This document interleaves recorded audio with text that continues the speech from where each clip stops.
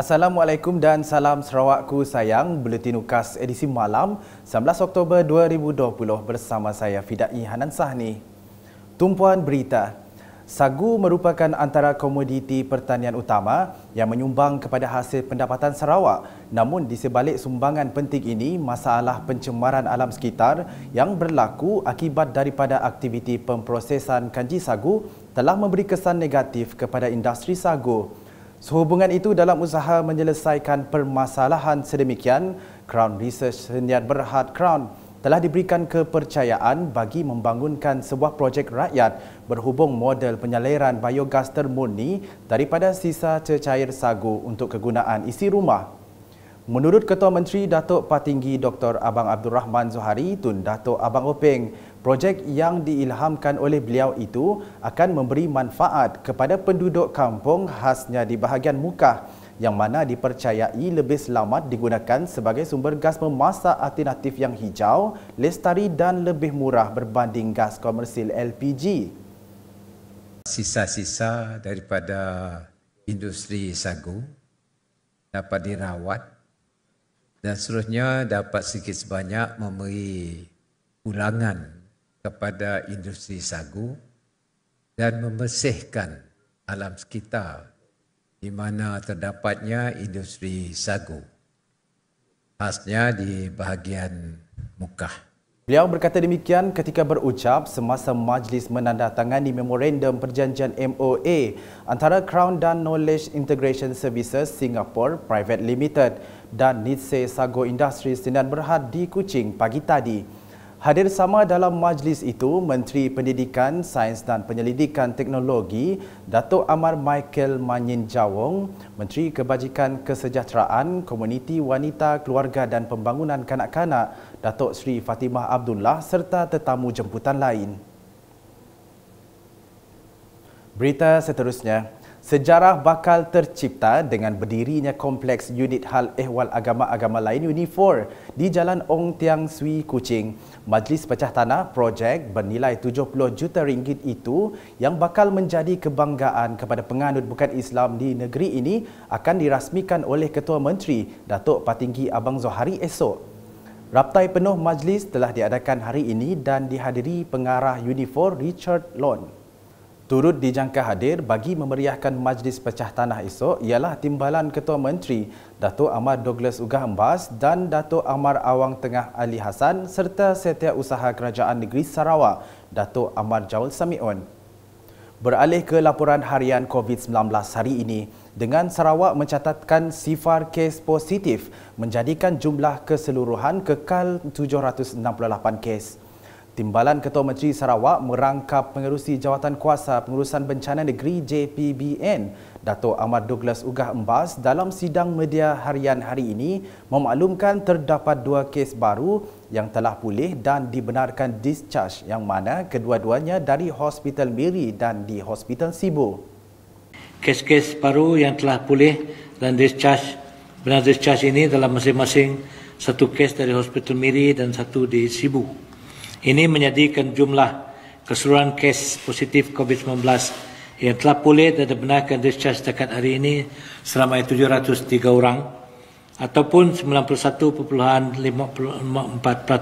Sementara itu, beliau menambah kemasukan dari Sabah ke Sarawak masih tidak dibenarkan sehingga 17 November depan.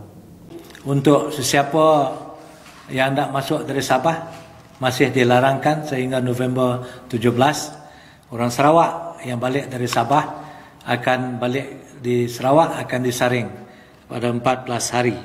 Begitu juga untuk uh, mereka yang datang dari Semenanjung Malaysia ke Sarawak, mereka dikenaki uh, disaring. Uh, kalau yang pertama disaring di sana tiga hari sebelum uh, berangkat ataupun disaring di sini uh, dan uh, kalau disaring di sini akan dikuarantin uh, di pusat kuarantin 14 hari. Berikut pula, Kerajaan Sarawak komited dalam membantu masyarakat di negeri ini terutamanya melibatkan kebajikan sosial. Menteri Kebajikan Kesejahteraan Komuniti Wanita Keluarga dan Pembangunan Kanak-kanak Datuk Seri Fatimah Abdullah berkata, Kerajaan Sarawak telah menyediakan bantuan Endowment Fund Sarawak EFS untuk setiap anak-anak Sarawak yang lahir pada 2019.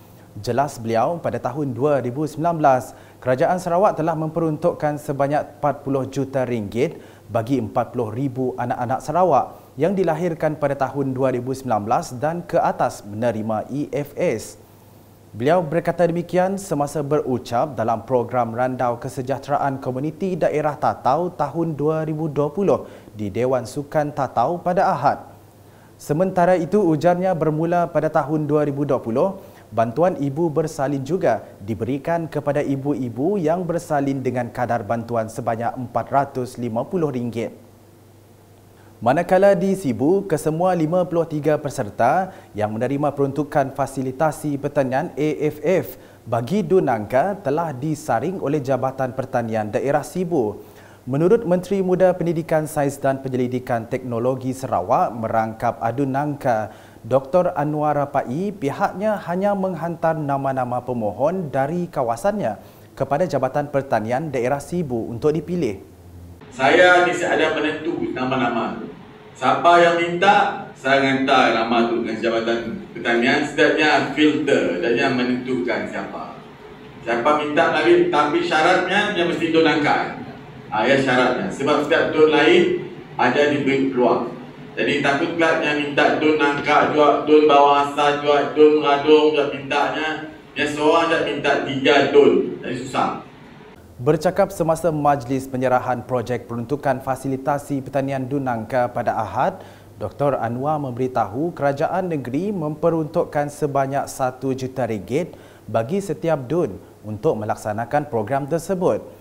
Sementara itu, salah seorang peserta projek fertigasi Muhammad Junaidi Sambang berkata, program tersebut bukan sahaja membantu para petani menambah pendapatan malah memberi pengetahuan kepada golongan belia yang menceburi bidang pertanian. Sebenarnya kita sangat-sangat berbesar hati kerana di atas projek itu kita dapat menjana ataupun menambah pendapatan kita lah. Dan dengan projek itu juga membuat kita semangat. Terutama sekali generasi muda dan saya saya sendiri ada 4-5 orang kru muda-muda yang betul-betul gigih untuk meneruskan projek itu. Sekian edisi malam bersama saya Fidai Hanan Sahni dan kru penerbitan.